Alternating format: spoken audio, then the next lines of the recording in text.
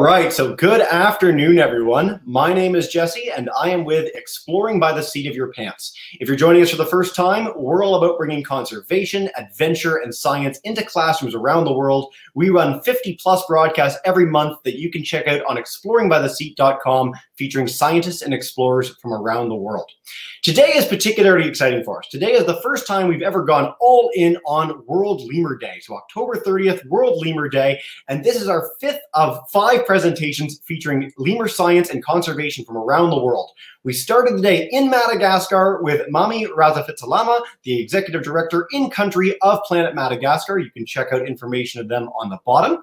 Then we went to Dr. Carrie Ann McGugan, author of Chasing Lemurs, telling her own personal story of exploration in the northwest of Madagascar. We went over to the Duke Lemur Center and heard about uh, the lemur forest that they have there, getting, uh, getting a chance to showcase some amazing creatures uh, live in the forest in North Carolina. And just a couple hours ago, we finished up with the Toronto Zoo, where we got to learn from Sonia, the lemur keeper at the zoo, and Dr. Travis Steffens about their ring-tailed lemurs.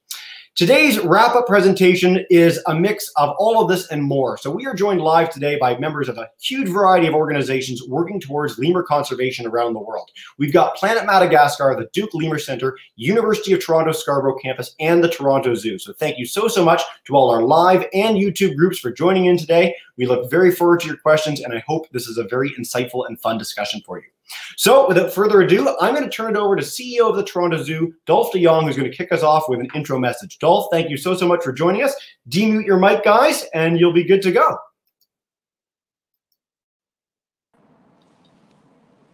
Good afternoon, Jesse, and good afternoon to all of you watching, and thanks for joining us on Lemur Day. It's certainly a fun and amazing day, and we're so grateful to work with all our partners on this important cause. Before we get too much further, I just want to acknowledge that the land we're on today is the traditional territory of many nations, including the Mississaugas of the Credit, the Anishinaabe, the Chippewa, the Haudenosaunee, and Wendat peoples, and now is the home to many diverse First Nations, Métis, and Inuit peoples. We also acknowledge that Toronto was covered by Treaty 13, signed with the Mississaugas of the Credit, and the Williams Treaties, signed by various Mississaugas and Chippewa bands. So today is incredibly exciting. Jesse talked about the number of partners that have come together and are working together to help raise awareness of the challenges lemurs are facing. And we're excited to be here with Travis and also with one of our really important fellow anchor institutions here on the east side of Toronto, uh, the University of Toronto Scarborough. We have a really close partnership with them, a great relationship working together to build critical thinking and awareness. And with that, I'm going to kick it over to Dr. Wisdom Tettey to get the show going. Over to you, Wisdom. Thanks, Dolf. And uh, good afternoon, everyone, and welcome um, to everyone who's joining us this afternoon for the inaugural University of Toronto Scarborough and Toronto Zoo discussion series. My name uh, is Wisdom Tettey, and I have the privilege of serving as uh, Vice President of the University of Toronto and Principal of the University of Toronto Scarborough. I want to extend my sincere thanks to all our friends at the zoo and at the university for all the hard work that has gone into preparation for today's talks. And I want to congratulate everyone uh, of you on being part of what I understand has been a wonderful day of programming, starting from Madagascar and traversing the globe and up to this point here in Toronto. And on behalf of the University of Toronto, Scarborough, it's my pleasure to help kick off uh, the first of what would be an engaging and enlightening set of uh, discussion series uh, that we've worked on together. And they're just one of a set of exciting initiatives that we're working on together as partners. And the two institutions have found common purpose on a number of issues that are very dear to the hearts of members of our community uh, and, and are critical to the future of our planet. Uh, and so some of you may be aware that we recently announced a partnership that is centered around our shared commitment to education and research with priorities in the areas of conservation and biodiversity, environmental sustainability, and innovation. Now, a few highlights of this partnership are worth mentioning. We are intent on establishing an Institute for Conservation and Biodiversity Research that would generate and share knowledge in support of wildlife and habitat conservation. We also are planning new courses that would leverage the expertise of the faculties of um, the University of uh, Toronto Scarborough, as well as the expertise of our partners uh, at the zoo. And these would allow us to maximize uh, learning experiences based on the coming together of different uh, experts working collaboratively to pursue a shared vision. And this partnership also would allow for experiential learning opportunities for our students who would be able to uh, engage with the work going on at the zoo as interns on co-op placements. Uh, seasonal employment opportunities are part of this. And, uh, you know, importantly, we hope that it'll engender volunteer spirit and activities amongst our students. So the topic of today's discussion, which focuses on current and future efforts at lemur conservation, complements this overall objective and uh, is a good start to our aspirations for this very valuable partnerships. So thank you once again, everyone, for joining us today for uh, these discussions. And please enjoy the talks. And I look forward to seeing you at future versions of this series.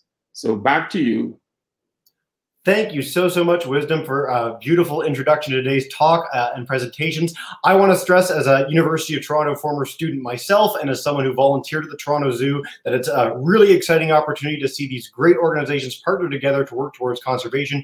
And, you know, my personal educational journey uh, was made possible because of the efforts of those two organizations. So, with programs like this, uh, both today and in the future, I'm excited to see how we can inspire more youth of all ages to take part and really take meaningful action for conservation So really briefly, before we dive in with one specific talk, I want to give a quick shout out to all our speakers today. So we're joined by Dr. Travis Steffens, Dr. James Herrera, and Dr. Julie uh, Uh, I'll get bring them all on the screen for a second so you can just say a quick hello to all of them. Um, and we'll be bringing them in one by one, doing little bits of intros for everybody uh, to say hi in the coming minutes. Uh, but we're going to begin today with Dr. Travis Steffens. So he is the Executive Director of Planet Madagascar. As I said, we started our day in Madagascar with the in-country director. And now I'm really excited to hear from Travis as he shares a little bit about the uh, organization Planet Madagascar, what they do, and how you can take part at home. So Travis, thank you so much for joining us and uh, take us away. Hello, hello. I'm just sharing my screen now, just making sure it works. Travis, yeah, it works perfectly, but we want to unmute your mic on your second camera. I know we got two cameras on you right now. I'll let you know when you're all good to go on your uh, phone, and then we'll bring that up for everybody. Uh, nope, you're muted on both right now. Half the fun of digital presentations. There you go, Travis. Perfect. Yep, go for it. Great. Well, thank you very much. I'm very excited uh, and to bring Planet Madagascar here at the Toronto Zoo. Uh, we've had a fantastic partnership with them for the last few years, and they've been integral into helping us do some of the conservation work we do in Madagascar. I just want to talk a little bit about the work we do. Planet Madagascar focuses on the three C's of conservation. This is the basics of conservation, community, and communication. We are, in, are one of our most important projects is protecting forests from fire. Uh, you can see here a fire break that we were building with a fire off in the distance. This is an important part of, uh, of the conservation we do because that fire impacts a lot of the forest that lemurs live in. We also work on conservation projects surrounding forest restoration, and uh, we have a women's cooperative that we partnership that helps us build more and better community relations.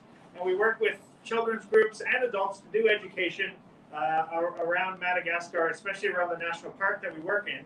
And why do we do this? We're doing this to protect the lemurs that are that are endangered in the area we work. There's eight species of lemurs. Uh, it might be hard to see from the slide here, but there's actually one missing. We have some small mouse lemurs. We have mongoose lemur, beautiful Coquerel sifaka, the brown lemur, woolly lemur, and the sportive lemur. What's missing from the slide is the uh, uh, uh is a fat-tailed dwarf lemur. And I mentioned fire is integral to, to the, the area that we work in. Well, the area that we work in is a dry deciduous forest that is impacted by fire on a, in, in a natural basis. But these fires have increased with human encroachment. And those fires, when they burn out of control, will burn down the lemur forest. So we have teams of people maintaining a network of 15 kilometers of fire break that they build by hand. And they do this every year. And these are important because as fires come, this is a photo I showed you earlier, they will hit this fire break and the fire break will stop the fire from continuing into the forest. We also will backburn some of these fire breaks. So actually we'll use fire to fight fire. So we'll bring down the fuel load of the of the of the area by by, by bringing fire through so that after uh, a number of years there won't be a massive fire that comes into the area impacting the forest. The forest restoration project has been very successful. We just started it, but we've already put in over 45,000 uh, trees into the ground. And this year we plan to put in another 30,000 and we're hoping to get up to 50,000 a year from here on in. Here's one of the one of the three nurseries that we operate, and we built a fourth nursery that we we uh, we donated to a women's cooperative, and we do this all with manual labor and and, uh, and uh, very little technology. It's done by people carrying these seedlings by hand or on the back of ox carts, all the way to the plantation zone where we plant these plants in hopes of building more lemur forest. And this is done with uh, just a lot of hard work. Now, where the Toronto Zoo comes in is they actually have funded us, uh, given us an opportunity with sustainable funding so that we can hire a single individual who helps us uh, full time work to find lemurs in the forest near the community he works in and uh, or he lives in. And this is Jean Paul here. I've, I've circled him. He's uh, he has many different faces. Sometimes he's quite serious. Sometimes he's uh, uh, kind of a goof. but he's one of the hardest working people I know. When I asked him if he was interested in working for the Toronto Zoo as a as a, someone who who tracks lemurs and gets to know lemurs. He said it would be one of the proudest things he could do would be to, to work with his the, the, the, the animals in the in the community that he actually lives in. So he was very excited about that. So I want to thank the Toronto Zoo for, for offering that funding because without which we couldn't offer sustainable employment like this and helping conserve lemurs. Thanks so much. Thank you so much, Travis. What a fantastic presentation and highlighting Jean Paul, uh, a really uh, incredible individual, and again, part of the Planet Madagascar team, which you guys can all check out at planetmadagascar.org on the bottom of your screen. So, with that, I want to take us to our second speaker. So, we are joined live uh, by the director of the Sava Conservation Project coordinating uh, coordinator at the Duke Lemur Center, Dr. James Herrera. He's going to speak a little bit about the amazing work that they do. Again, another organization that we featured many times here on Exploring by the Seat of Your Pants. So, James, demute your microphone, come on in, and we'd love to hear your story about lemur conservation. Hi, everyone, and thank you all for having me. Uh, it's a really uh, big honor to be able to speak uh, with, with such a huge group, uh, you know, even virtually, and share about what the Duke Lemur Center is uh, doing for conservation in Madagascar. So uh, I'm just going to go ahead and share my screen and hope for the best. Can you see that all right? Perfect. You're good to go. Great. So the focus of my talk today will be about how partnerships are really fundamental for lemur conservation, especially the partnerships with the local communities like Travis was just describing. So I'm excited to be able to take you on a quick journey to Madagascar, uh, and I'll spare you the 48 hours of flying and the six hours of hiking up the mountain to get to this beautiful spot, which is high up in Marojejy National Park. It's one of the national parks in the Sava region, which is uh, northeastern Madagascar. And these mountains are just covered in rainforest and jungle. And in those jungles are the lemurs, like these silky sifakas, which are uh, really only found in this part of Madagascar. So not only are they only found in Madagascar, but in just one unique pocket. And so Madagascar, as you've probably already heard by now, is an island off the southeast coast of, of Africa. Um, and it's about the size of the state of Texas or the country of France. So it's actually very large. The Duke Lemur Center has our uh, Sava conservation projects up here in the Northeast. And, uh, you know, the best uh, guess we have about how lemurs actually got to Madagascar is by rafting, probably from Africa like 50 million years ago. And it might seem kind of crazy, but it turns out that we, we've actually observed uh, species alive today, like lizards and iguanas, that get shipped out on islands of vegetation and storms and end up moving around on different islands. So, yeah, maybe it could, could be possible. So once they got there, they diversified into over 100 different species. And they range in size from the smallest mouse lemurs, 30 grams, fitting in the palm of your hand. And they scurry around at night eating insects, and they're uh, dwarf lemurs there eating uh, flowers and fruits. And then they range all the way up to the largest living lemurs, the Indri, which is about 10 kilos or 22 pounds, like a medium sized dog. Some of these lemurs are so specialized on eating uh, just things like bamboo that they're really kind of astonishing. We still don't understand how they eat these uh, bamboos. And of course, some of the most famous lemurs, like the Indri, are like a flagship species. They represent the rainforest and the conservation priorities in Madagascar. So by protecting species like lemurs, we can also protect um, other species that they coexist with. And these lemurs really are uh, just fascinating to watch. We've had really great opportunities to observe them in their natural habitat. Here, the silky sifaka are grooming and nuzzling as they uh, kind of wind down and get ready to sleep for the evening. Here, the white-fronted brown lemur is exhibiting how these uh, males have a white, uh, fluffy face, while females actually have just uh, black hair on their heads. Um, and you know, just a diversity of species that they're always very curious when they see us coming. Here's those bamboo lemurs I was mentioning, doing what they do best, uh, eating bamboo and you know that diet is not very uh, you know uh, full of energy so they spend a lot of time just kind of hanging out and grooming each other there's nocturnal species that if you're lucky you can find them during the day like this little lepilemur or sportive lemur they sleep in the tree holes but if you disturb them they might just peek out to see what you're up to and the dwarf lemurs and mouse lemurs that are out at night they're really like squirrel sized or literally mouse sized animals that are just a, you know, a real treat to be able to find because they can be so elusive. Now, lemurs are rainforest, and especially the rainforest species, they're really dependent on forest. And so habitat loss is one of the things that's most threatening to their, to their survival. So if we look at just the Sava region, which is marked here in red, you can see the extent of forest cover back in 1950, all this green. And then, you know, we watch as the forest kind of contracts and gets fragmented through the 1970s and until more recently around 2017. In fact, 20% of the forest cover uh, has been lost in the Sava region just between 2000 and 2017. So this is what's the main cause of, of lemur threats, uh, and this is mostly due to slash and burn or shifting agriculture farmers who are using, you know, just kind of axes and machetes to clear a piece of vegetation and burn it in preparation for farming. They also use fire, as Travis just described, to clear pastures for grazing their cattle. And sometimes these fires just get out of control, like uh, like Travis was explaining, and they get into the forest and can burn the forest down. But it's not just because they want to burn the forest, they don't like forests, it's because they're trying to grow their crops. So here you can see a, a Malagasy mother with her children as she's tending her most important crops, which are the rice, beans, uh, corn, cassava. These are the staples, and most of the farmers are uh, growing just enough for their families to eat. So it leads to this kind of mosaic environment where you've got patches of of land that are being farmed in different kind of stages. And you can see up here, you know, patches of forest that remain. And this tree line here, that's the boundary of the national park.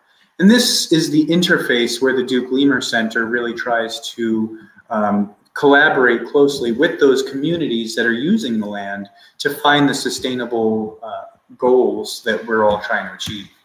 So I work for the, I'm the program coordinator for the Duke Lemur Center Sava Conservation Program.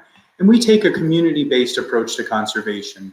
We spend a lot of time doing focus groups and stakeholder interviews with the local communities to understand the challenges they face, the goals they have, and the solutions they envision. We do a lot of one-on-one interviews to do research about socioeconomics, health, uh, perceptions about the environment and their agricultural practices. And we partner very closely with a lot of different actors, but especially the university in the region. Um, we see a really vibrant and motivated group of staff, teachers, students, including, for example, the director, Christoph Manzari Bey. He has a PhD in ecological restoration, so he really has conservation at heart. Fulgence, uh, who's a herpetologist, you know, focusing on the chameleons and reptiles and uh, frogs and Here's Evra, who's an ecotourism guru, and of course, uh, Torian, who's an agriculture specialist. And so these folks have really helped uh, to develop new projects like in sustainable agriculture. So we've also held training with international um, uh, uh, consultation from Terra Firma International, which is a group to, to, to really learn more about sustainable agriculture. And here we are collaborating with the farmers and the students from the university to make um, sustainable home gardens. And working closely with local women, as Travis mentioned, we really have to empower women to have a bigger um, and stronger say in their communities. Um, and they're really excited by this because here they are gathering local materials that are free and all around them. You know, Lily showing off some of the ash and char from their cooking fires, which can help to bring these soils to life. And they're using local compost that they've made themselves. And it's also an opportunity for kids and uh, the other parents in the neighborhood to see how people can use the resources all around them in a new way. And it's really, really exciting to see people taking off with this and the progress they're making. Um, and so uh, we really try to focus on nutrient dense vegetable crops, uh, but also trees. So as Travis was pointing out, you know, reforestation is a really important part of the conservation in Madagascar. But it's, uh, it's also good to work with the farmers on this because these trees in the farming landscape can really be productive for the farmer as well. So we're focusing on cash crops like coffee, and here Christoph and one of the students are demonstrating the proper plant care and maintenance. Um, and so it's really kind of at the interface of these three concepts, the biodiversity conservation, the local partnerships, and these place-based approaches to uh, development where we see the sustainable development goals for, uh, you know, for the future. And so just to give you a quick uh, recap about the communities we're reaching, uh, we've trained about 100 farmers in the last year, and 40% of them have already adopted the methods that they learned in the workshops. 50% of those are women like Madame Angel here, who turned a small uh, corner of her backyard into a really productive uh, and diverse farm.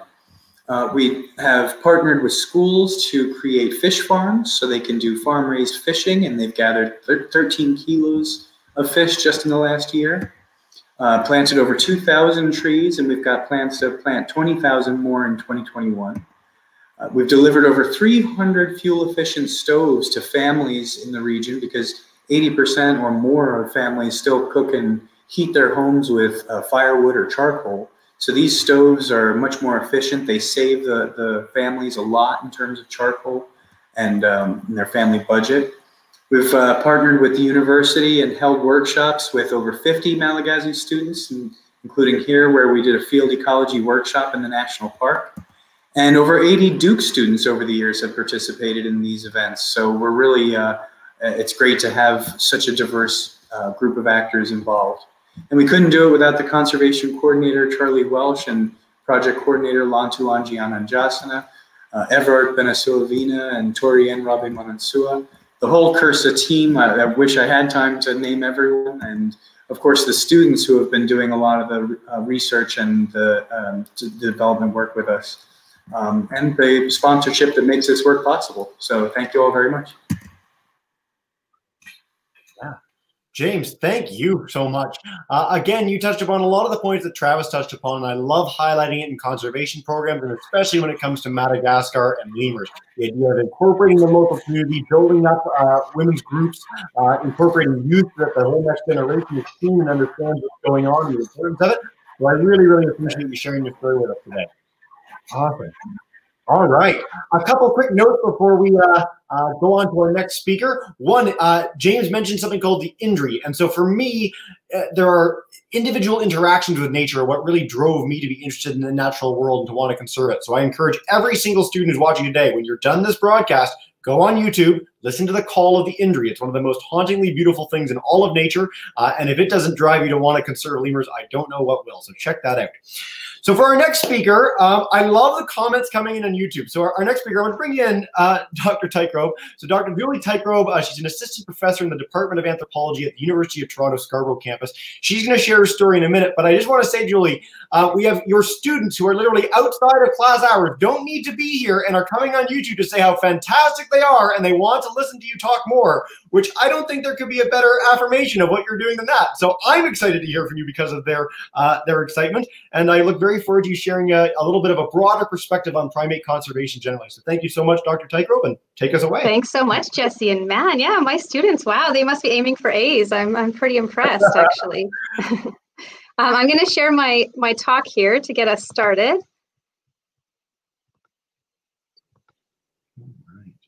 All right, I think this is going to work. So far, so good. We're just killing it with these talks so far. All right. I might be a little bit more long-winded as I tend to be. Um, so thank you, everyone. Um, I'm so happy to be here for Lemur Day. I'm a primate behavioral ecologist um, in the anthropology department at University of Toronto Scarborough. And I have done projects um, on lemurs in the past, but actually my main research is in sub-Saharan Africa. So I've studied these three different monkey species pictured here for many years. Um, the one on the left, the white-thighed colobus, I studied for about 10 years during my master's and PhD in Ghana in West Africa. And then the other two species here, the vervet monkeys and the Ruwenzori Angolan colobus, I study them currently for about the last eight years um, in East Africa in Uganda. Um, so I'm just going to, you know, have a talk that's a little bit broader and it's going to take us beyond Madagascar. So the primate family tree is pretty big, and although lemurs, which are shown here at the top, are a really important part of it, Today, I just want to discuss the wide diversity of living primates and talk about the state of their populations. So primates are distributed across the tropics and even into more temperate areas in North Africa, South Africa, China, and Japan. So I'll just show you a heat map of the global biodiversity of primates. And you can see it's particularly great in the areas shown in yellow, orange, and red. So primates are present in 90 countries, but four countries contain two thirds of all primate species. So that's Madagascar, Brazil, Indonesia, and the Democratic Republic of the Congo. Now, the state of primate conservation, unfortunately, is not great. So there are about 504 species of primates, approximately 60% of which are threatened with extinction, and approximately 75% of which have declining populations.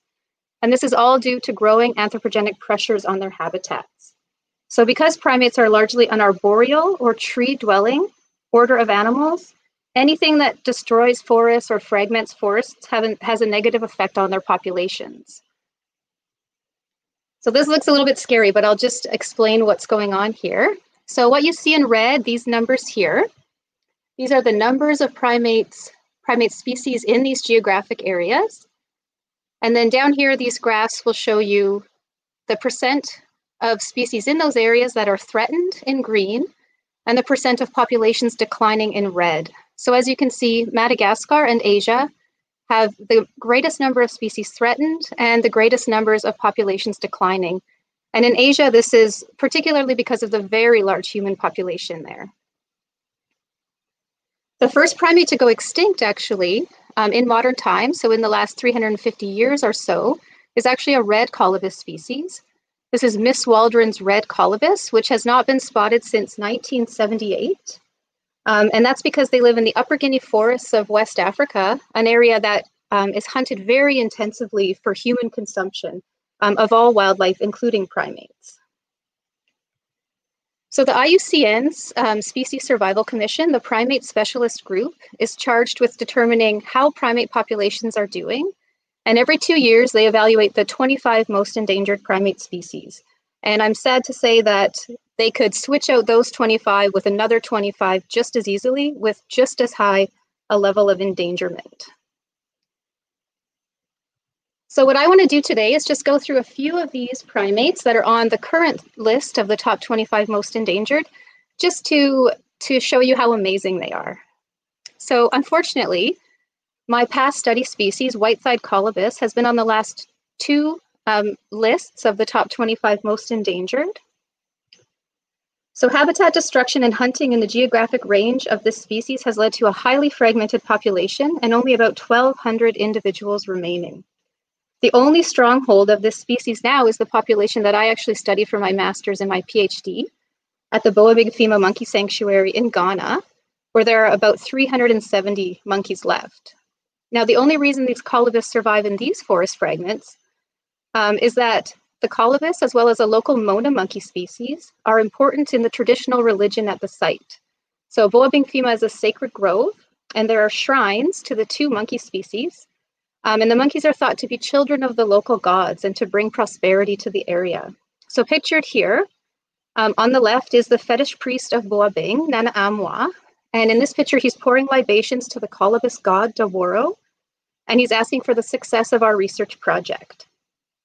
So as you can see at this picture of the monkeys, um, the infants in this species are born pure white, and this ne neonatal coat slowly transitions to the adult black and white coat. And males that are the likely father of the infant act as protectors, and they work to keep the infant safe from other infanticidal males as well as predators. And these males do this really awesome display every morning where they leap through the trees, roaring extremely deeply um, which it demonstrates their strength to females um, as well as to other males and is something that's just amazing to behold. Um, I'll talk about one species in South America. So the pied tamarin in Brazil is also on the top 25 most endangered list. Like other tamarins and marmosets, these small monkeys have a really fascinating life history. So there's one dominant breeding female in the group, and she actually suppresses the reproduction of all the other females using pheromones, which are hormones distributed in the air. The breeding female gives birth to sets of twins, these really large babies. And so actually the twins are carried and cared for primarily by the males in the group, and they're only brought back to the mother to nurse so that she can reproduce again. So this species has a fairly small geographic distribution in Brazil, and they live at really low population densities because they are aggressively territorial. So unfortunately for them, in the south part of their range, which should be a real stronghold, that's where the large city of Manaus is located. So these monkeys in the city are often electrocuted, captured for the pet trade, and attacked by people's pets. Also on the top 25 most endangered is one of my very favorite animals of all time, the aye-aye. So aye-ayes are probably the most unique primate, the only living member of their genus Daubentonia, a group of primates that went off on its own fascinating evolutionary path a long time ago. Aye-ayes are the largest nocturnal primate, and they have the largest brain of all the lemurs. They actually fill the niche of a woodpecker in Madagascar, so they're percussive hunters, and they tap their way along the branches with their long finger fingers, and they listen with their independently mobile bat-like ears, and once they find a hollow filled with grubs, they chew into the bark with their incisor teeth, which continue to grow throughout their lives like a rodent. And then they use their one long chopstick like finger to dig the grubs out of the hole. And what's really, really cool is that the final digit of their finger is actually highly specialized with a ball and socket joint. So it actually can kind of helicopter around and pull the grubs right out of the hole. So aye-ayes have very large home ranges and they live at really low densities. So it's really hard to determine how many are left, but they're suffering from habitat destruction and persecution because in some areas they're actually killed on sight because they're thought to be a bad omen. And I'll just cover one more primate species here. Um, in Asia, where so many primates are endangered, um, I'll talk about the Javan slow loris. Um, so all slow, slow lorises are threatened with extinction because of devastating habitat loss throughout their range. Um, and slow lorises are really unique in being the only venomous primate. They are one of actually only seven mammals that produces venom. So they mix oils from their brachial gland in their arm with their saliva, and this activates the venom, um, which they use to protect themselves from predators and in territorial battles. So besides habitat loss, these primates are greatly threatened by hunting for the pet trade and for traditional medicine. Um, so traditional medicine in the area uses whole dried loris bodies for various um, ailments. And the pet trade has been particularly devastating. Um, and also because the venom of lorises can actually cause anaphylactic shock and death in people, when these animals are taken for the pet trade, pet traders pull out their lower incisor teeth before selling them and packing them really tightly in boxes to be illegally transported. So here I'm showing you the global threats to primates and the percent of species affected. Um, and you might think that beyond giving to conservation organizations like Planet Madagascar, that there's not much you can do to help, but hopefully I'll convince you that's not totally true. Um, so you can actually alleviate some pressure on primate habitats caused by agriculture. And this is of course because we live in a global world, right, where crops and commodities are traded globally. And one of the largest contributors to habitat destruction is actually palm oil production in primate habitat countries. Now, palm oil is extremely useful and demand is growing, and you can find it in many, many of the foods as cosmetics that you buy. And it goes by many names on the on the back of the label. You might just see vegetable oil or sodium lauryl sulfate or cetyl alcohol. There's a list of about 20 different names that palm oil goes by. So it's hard to avoid.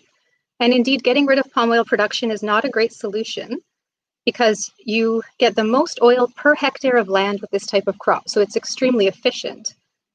However, um, if you want to help with this particular threat to primates, you can ensure that the products you buy are made by companies that use sustainable palm oil. So be to be officially sustainable, a company is pledging not to clear any primary forest, to have transparent supply chains, to limit their planting on peatlands, to treat workers fairly, and to create wildlife zones in their plantations. Now you can also help with the second major threat to primates here, hunting and trapping. And that's again because the illegal pet trade is also global. And simply sharing cute videos of pet primates on social media can drive up demand for primates to be taken from the wild and put into the pet trade. And this threat can be really extreme because of a lot of secondary mortality. So what that means is that a lot of animals that are taken from the wild for the pet trade do not survive to ever be sold. In addition, in a lot of group living primates, a lot of the group will come down to protect and try to save the animal that's being taken for the pet trade. So typically the mother will die as well as other individuals in the group. So for one animal that ends up in the pet trade, you can have many animals die. So cute social media posts of pet primates not only drive up market demand, but they also give people the perception that these animals are not endangered. And finally, just briefly also with logging and wood harvesting, again, markets for wood and paper products are also global. So we may be buying wood and paper products from primate habitat countries um, where it's been logged illegally. Um, we also might be buying from companies that don't use proper environmental standards. So again, you know, a quick internet search, maybe not quick, you might have to investigate a bit, um, can tell you whether the wood and paper products that you're buying are also sustainably sourced. And finally, I just want to say, if you have the inclination, um, you should also get involved in primate field research. So there are many primate species where we don't even have basic natural history data. And how are we supposed to conserve a species if we don't know anything about them? In addition, it's been shown that long-term field sites where research has been ongoing for many years are actually in better shape, the habitats are in better shape, and the primate species and the primate populations are in better shape than areas where there hasn't been long-term primate research going on or long-term research of any of any type. So I can also promise you, if you get involved in field research, you'll see a lot of amazing things and you'll meet a lot of amazing people. So that's it for me. I'll pass back to Jesse here. Well, thank you so, so much, Julie, for such an amazing presentation. Uh, what a, a, whirlwind tour of so many uh, threats and solutions facing primates around the world. So thank you so, so much for that. Um, all right, guys, we are going to dive in with questions now. So again, a huge thank you to Dr. Teichroeb, Dr. Herrera, Dr. Steffens for sharing their stories with us today about uh, their own experiences in the field and in helping protect wildlife around the globe. We do have a couple live groups. Some have had to go home as it's the end of their day here in Ontario. But I want to go to uh, Joe, who is our, our chief lemur lover in residence uh, over the last couple weeks. So Joe is a student joining us in Mount Horeb, Wisconsin. Joe, do you want to kick us off with a question for our speakers today that they can answer? Sure. So, what's your favorite lemur? Favorite lemur, guys. Okay, we're going to bring them all in. James, Travis, and Julie. You have a favorite? hmm. Definitely.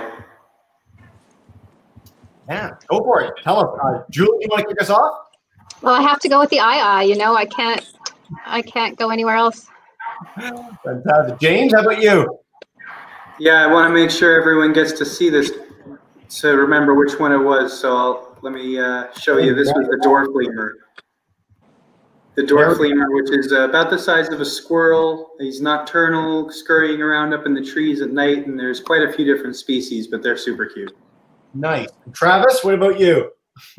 I, I I have a few different favorites. Usually it's whatever lemur I'm looking at is my current favorite, but I I definitely lean towards the Coquerel sifaka, which many of you know as the Zoboomafoo, and that's one of the species I spent a long time working with in conservation and in research. Fantastic. Thanks, guys. All right. Uh, quick note on Zoboomafoo, actually. So I wanted to do a quick plug. Uh, tonight, the Duke Lemur Center is hosting a virtual fundraiser instead of their, their typical one. It is free to register. And so I'm just going to bring up a quick banner uh, for you guys. Uh, the Duke Lemur Center Gala, you can check out their website there. Me, you, and Zoboomafoo. They're playing that. James is, is raising the roof for us. Uh, but it should be an amazing event at 8 p.m. tonight. If you want to follow up, if you've done our five sessions, you want to do something else a little later tonight with your families, uh, that would be a really, really cool event to check out. Awesome. All right. Uh, I want to go to Miss Carton's class, joining us all the way in Anchorage, Alaska. It's been a long time since I've seen Miss Carton. This is really exciting. So if you want to demute your microphone, come on in. I know your video's not on right now, but if you have a question for us, go for it. Absolutely. Yeah, we are connecting through Zoom. Um, so it won't let us do our video. But so we I am screen share screen sharing with my students. So my co-host teacher, do you have a blue hand that's up of a student who wants to ask a question? Um, Ms. Kargich's class, do you have any questions? Raise your blue hand if you want to ask our scientists anything. And then Miss Romine's class that's also visiting. You're welcome. Yeah. So who we got? If we get more than the one while you guys are waiting too, you can always type them to me in the chat bar, Miss Carton, and then I'll pass them along as we continue on with the broadcast. Perfect. Right. McKinley has a question. All right, McKinley, go ahead and ask your question. For What is the most extinct animal? The most Lemur. Like endangered most lemur. Yeah. I think we'll stay with most endangered. Is there one that's particularly under threat that we could really work towards conserving, guys? James, I think you know the. I think you worked with the most endangered lemur, no? You know, it's it's like uh, Julie mentioned uh, with those meetings every two years where everybody just gets in a room and fights over whose species is more endangered. But the silky sifaka is definitely up there. I, I see that the lepilemur septentrionalis, which is a sportive lemur from way up in the north, there's like just one little pocket of forest that it's known from. So that's really endangered too. One of the mouse lemurs, the Madame Berthe's mouse lemurs. Yeah. Um, it's something that I mean, like the fact that we have to ask this question: What's the most endangered lemur? I mean, these are a really threatened group of animals in the entire world. I think the most threatened group of animals in the world. It's something we've been talking about all day, which is why conservation efforts are so important now. So, actually, I, I want to take a, a quick note. Uh, we've been hosted by the Toronto Zoo today, and so I know the Duke Lemur Center, the Toronto Zoo, both have live lemurs on site. Uh, zoos, in a lot of people's minds, are, are places where animals are in captivity, uh, but they're they're really have shifted their their focus and their efforts in the last few years to really become major conservation hubs. Can you guys speak to the role of zoos or, places where lemurs are kept live um, as a conservation tool? James, if you want to kick us off. Well, absolutely. I mean, you know, as uh, the DLC often says, the animals here in captivity are kind of like a an insurance policy or a safety net. You know, if if something catastrophic were to happen in Madagascar, there'd still be animals here that maybe could restock and in the the populations of Madagascar. And in fact, some of the lemurs that were bred here at Duke were returned to the wild in Madagascar successfully. So it, it is possible that in the future, you know, the breeding efforts here will go back to Madagascar. But of course, you know, the DLC Sava conservation progr- pro- uh, program wouldn't happen in Madagascar if we didn't have the lemur colony here, uh, which is how we get so many people interested and passionate about the lemurs. So yeah, the, the role of, uh, of zoos and, and research facilities, primate facilities like this are, are really important for conservation. Fantastic. Thank you, James. Julie, uh, Travis, do you have anything to add to that? Um, I guess uh, I would add that I think zoos are really important for getting, especially kids who can't see these animals, you know, in real life except at zoos. I think they're really important for getting um, getting people passionate about animal conservation and you know starting to really really love the animals and and wonder how their um, wild populations are doing. Absolutely. I mean, as a kid myself, getting to go to the Toronto Zoo here in Toronto was a hugely impactful experience for me. Getting to see Steve Irwin, David Attenborough on television, uh, and all the amazing wildlife that they showcased uh, was my my formative influence. So, yeah, before we go to another question?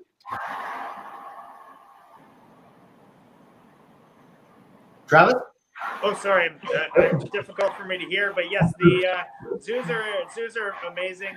Uh, uh, I wouldn't be studying lemurs uh, or, or, primates if I if I didn't have uh, access to where I grew up. Uh, having a great zoo was the Calgary Zoo, and without uh, just like James said, without the help from the Toronto Zoo, there would be we would have people in Madagascar wouldn't have the same jobs that they have now. So we have people employed by funds that come directly from the Toronto Zoo.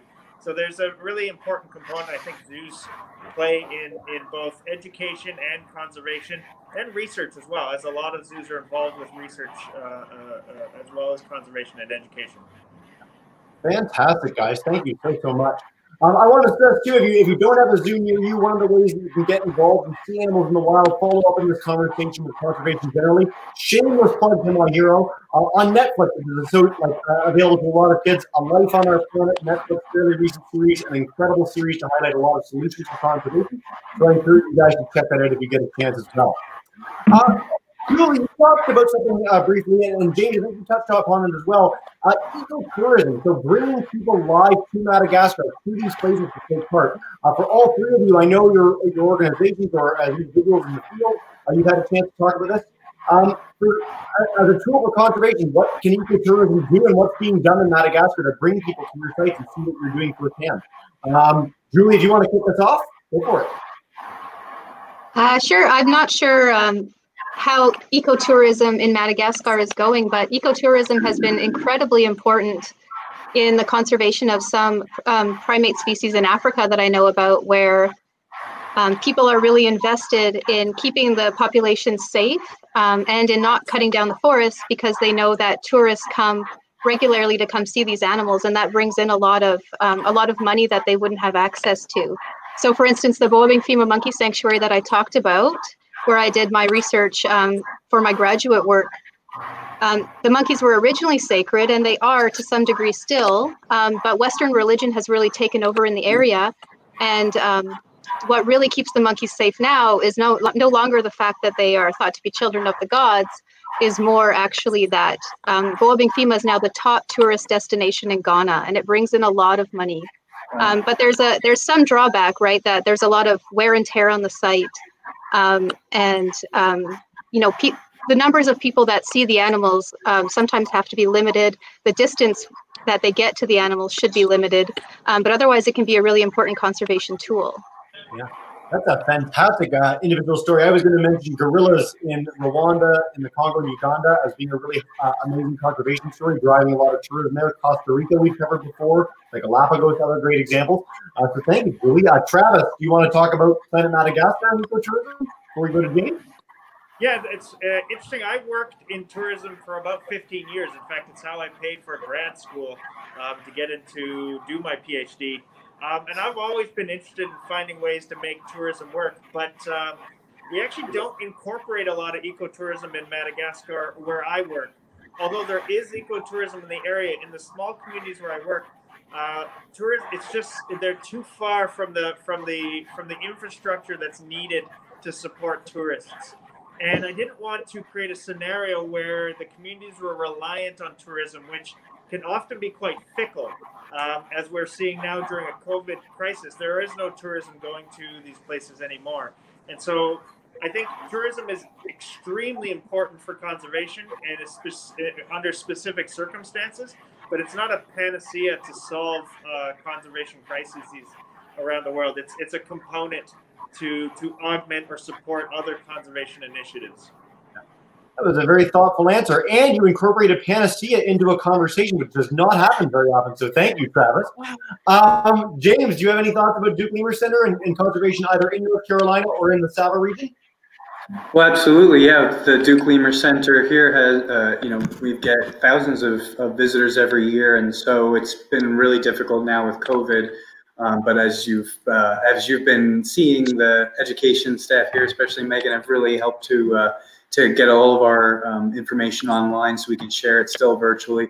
But tourism is very important here in Durham is, and, and in Madagascar. It was one of the uh, leading sources of revenue coming into the country, you know, before the before COVID and the lockdowns, you know, ever since until very recently, there's there's been no tourism and hotels and restaurants and things like that have had to close their doors. Uh, people who made livings as tourist guides before, you know, they they have to turn to other means for for income, and that often means you know going to farming and things like that. That you know they they really took advantage of those opportunities, not just to make money and have tourists, but to explain and and the value of of uh, the biodiversity in Madagascar for people from all over the world, including local tourists. You know, because local tourism is really important for Malagasy folks, especially in the cities, to get out into nature and see the biodiversity in their country. And you know, with the parks closed, they're closed to everyone. So it means that even the local folks don't have access to their national parks. And um, it's it's a big source of revenue. But as Travis mentioned, because of the the uh, volatility in that um, in that source of revenue, it, it, can be really hard because when you have a crisis or a crash like this, you know that, that's where having a diversified kit really helps, like what Travis is describing. Yeah. Fantastic. Thanks, James. All right. I love this question. We'll take it as our second last question. It's coming in from Alaska. James, you can kick us off with an answer. We'll just go in reverse order. Um, this is from Alaska, from our Anchorage class what made you also interested in lemurs and conservation? Like, what drove you to this? You guys are so passionate. You're dripping with enthusiasm for this. Uh, James, if you want to kick us off, go for it. Yeah, well, I'm, glad you took that when I saw that in the chat, and that's one of my kind of favorite topics. And I'm glad that Travis mentioned his uh, history with the zoos as well. So I got my start, my interest in primates as a, a, zookeeper at Monkey Jungle. Shout out to Monkey Jungle down in South Florida and the DuMond Conservancy, where I had opportunities to get exposure to primates, learn about how fascinating they are and their conservation. And then I had a really cool opportunity that my undergraduate advisor, Linda Taylor, told me about, which was a study abroad program in Madagascar with Pat Wright. And once I went, I was uh, addicted. I, I loved it, and I really wanted to do my PhD there. And luckily, Pat Wright, who was the advisor, took me on as a student, and I never looked back. awesome. Thanks, James. Travis, how about you? Yeah, so when I was eight years old, I was convinced that I was going to grow up and become a monkey. Um, when I learned that that wasn't possible, I uh, I thought, well, maybe I'll study monkeys then. And seeing them at the Calgary Zoo got me really excited. But I was really just quite lucky because the University of Calgary uh, had a had a fantastic and still does a fantastic program in primatology. So I fell into to studying primates um, through that program. It's uh, got my undergrad and master's. In fact, um, Julie was my TA at one point. Um, and then the uh, I, I was really interested in where where monkeys and, and primates were and why they were there, but in the context of humans impacting their environment.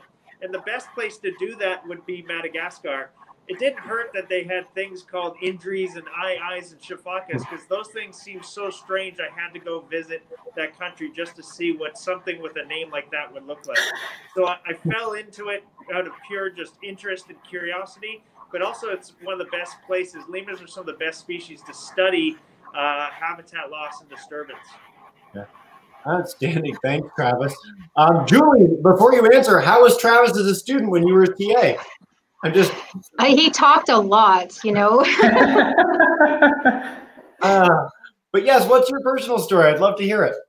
Uh, sure. Well, I was one of those weird kids that always just wanted to watch animals and, and be in the forest and not do anything else. And so I would watch pretty much any animal. And I thought, well, you know, I want to do this for a living, but people don't do this, do they, for a living? So I went into a veterinary program and I hated it. I hated every moment of it.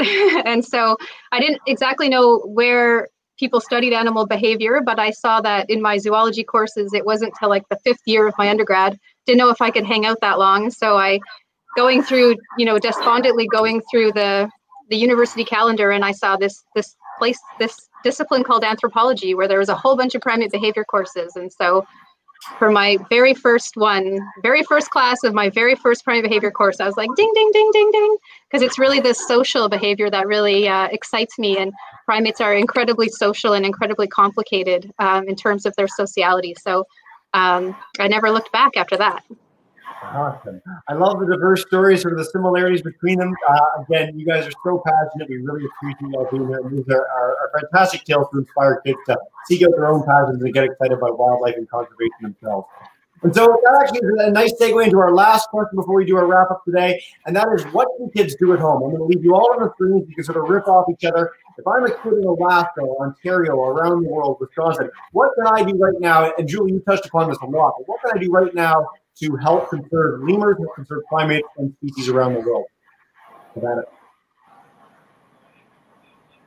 uh, who wants to go first?